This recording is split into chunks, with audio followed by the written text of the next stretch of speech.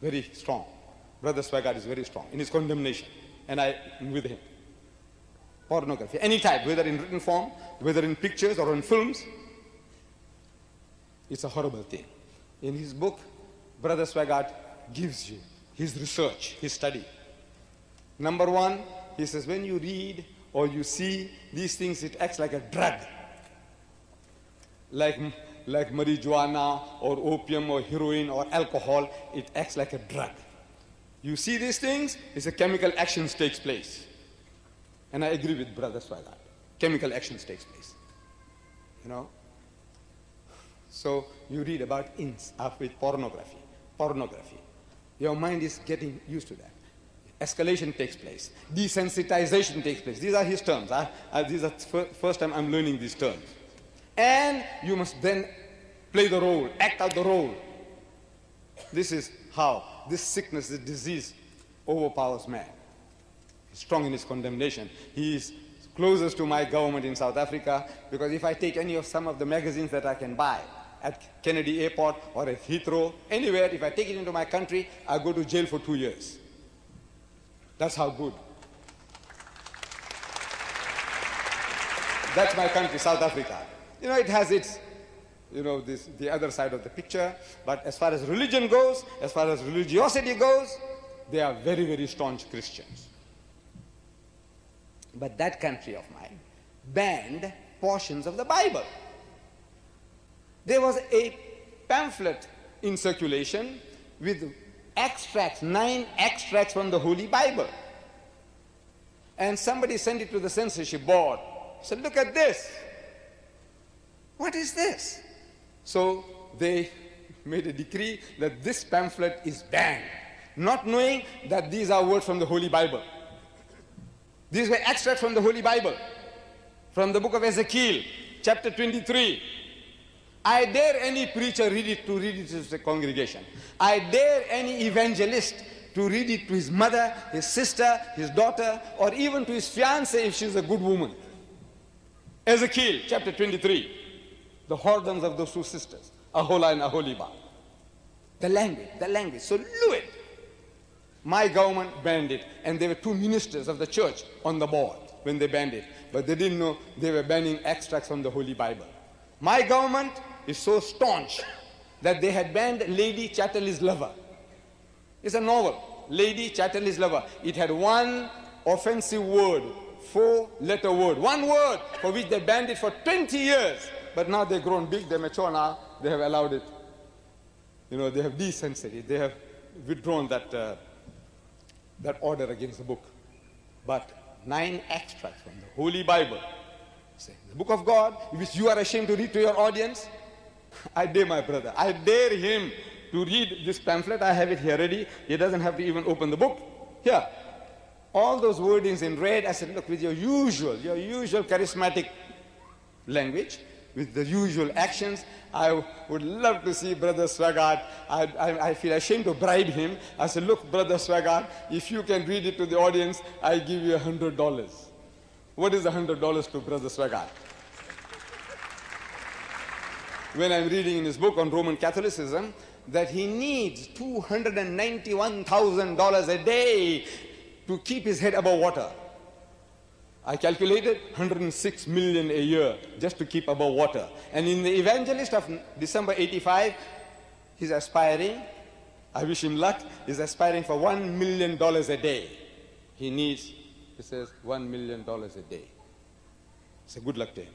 But now, if I said I give you a thousand, brother Swaggart, I give you a thousand, you know, I can't tempt him, I know. But in his usual spirited way, I hope and I pray that he has the courage, the guts, which all the priests in my experience have not had. Read it. Read it to your audience. Ezekiel chapter 23. If you can't, and I'm, I can tell you that it is not the word of God. The Bible is not the word of God.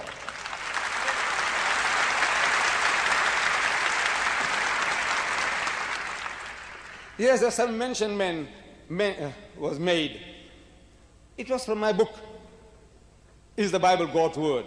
I had some 10,000 sent to the city, and I think they're available I don't know whether they'll be given out here. I had instructed them, give to everybody. Let them go home and look at it themselves and read for themselves and make up their own minds.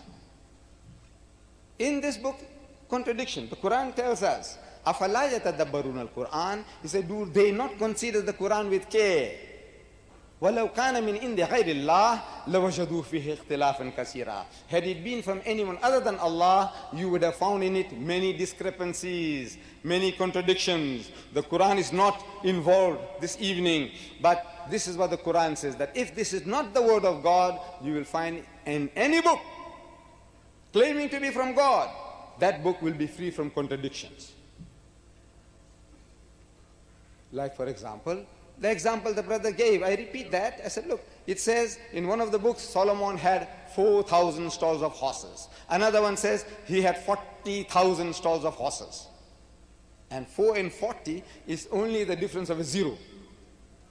So you'd say, I said, you know, my cousins, the Jews, they didn't know the zero when they wrote the book. They didn't know. It's my Arab brothers who found it from my fathers in India and they shared it with the world, zero. The Jews didn't know. They wrote this in words. Four, F-O-U-R, four, in Hebrew, of course. 40, F-O-R-T-Y, 40. I says, now who made the mistake? God or the writer? And they were not saved. We are told that they were not saved from mistakes. Mrs. Ellen G. White, you say she's a cultist, Mrs. Ellen G. White, the prophetess of the Seventh-day Adventist movement. In her Bible commentary, she says, she has no motives to lie.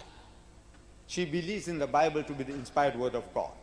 And yet she says, says the Bible we, have we read today is the work of many copyists who have in most instances done the work with marvelous accuracy.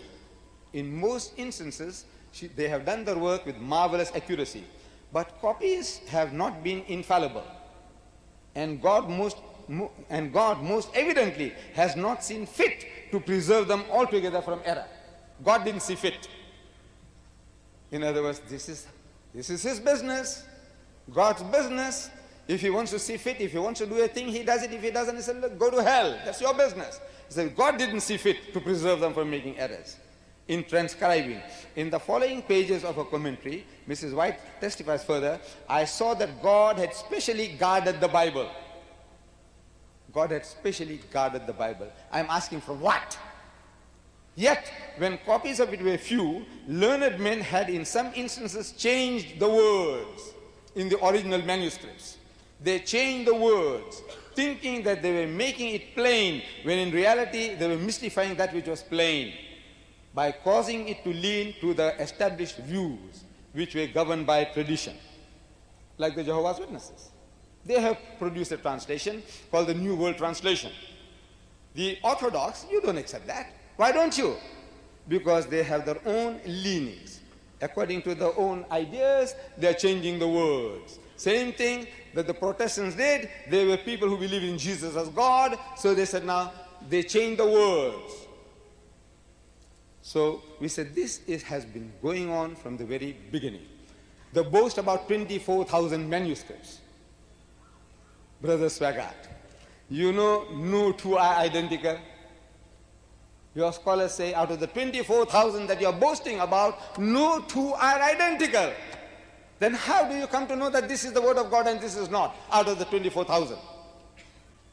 On the very face of it, when you open the book, the Injil and the Torah you're talking about, it says Mark, um, Matthew begins, in your version, the King James Version, it says the gospel according to St. Matthew, the gospel according to St. Mark, the gospel according to St. Luke, the gospel according to St. John. I am asking, what is this according, according, according?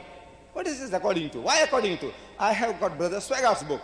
It says homosexuality, its cause and its cure by Jimmy Swaggart or just Jimmy Swaggart. It doesn't say according to Jimmy Swaggart. Why this in the book of God?